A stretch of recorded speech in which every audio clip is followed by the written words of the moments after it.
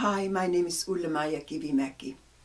In this video I will show you how to easily make an informal ebook document with a table of contents so that you can share this informal ebook with others. I have written here the title of my book and my name. And here I have written chapter 1, chapter 2, which has two parts, subsections part 1 and part 2 and here are chapter 3 and 4.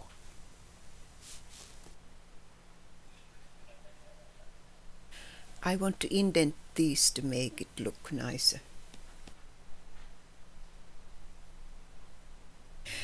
Next, I highlight the title and go to the styles and make it a title. I will now make my name a subtitle. Now I highlight all the chapter titles and make them heading 1.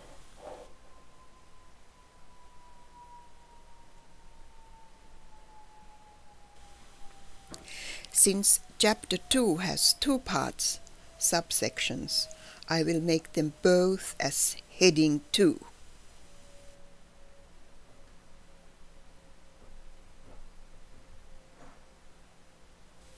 So now that everything is styled correctly, I'm going to put my cursor where I want the table of contents to be. Go up to the Insert menu and just choose Table of Contents.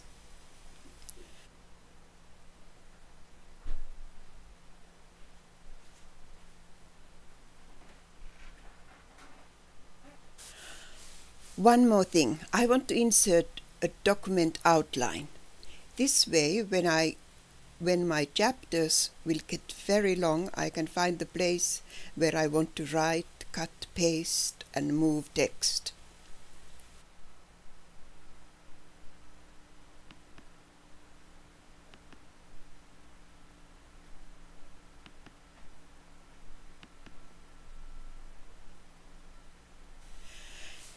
Now we can download several versions of our paper including Microsoft Word, PDF and EPUB. We go to the pull-down menu and choose File, Download, EPUB. And when I click on the downloaded file, it opens up in my laptop's default e-reader. Nice. And there is the clickable table of contents.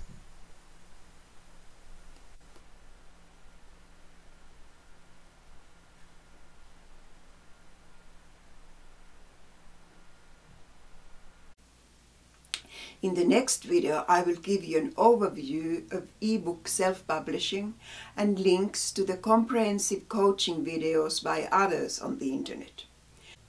More videos at my website creativetechpro.com